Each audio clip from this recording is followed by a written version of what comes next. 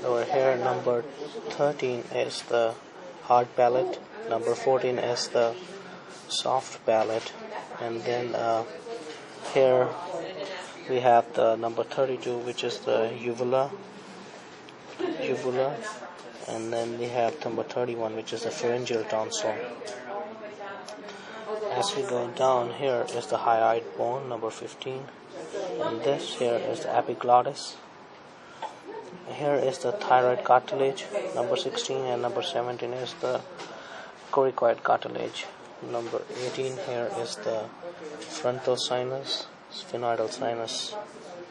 Then we have number 20 here is the tongue.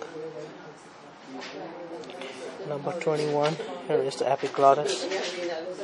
And then as we look over here this is the pharynx.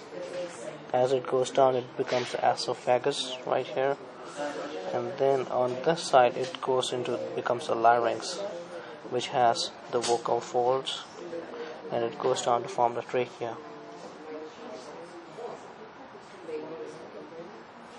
Here if you see you have the superior nasal concha the inferior nasal the middle nasal concha and the inferior nasal concha. Over here if you will see number 30 here is the auditory tube opening. Hmm, number 31 is the pharyngeal tonsil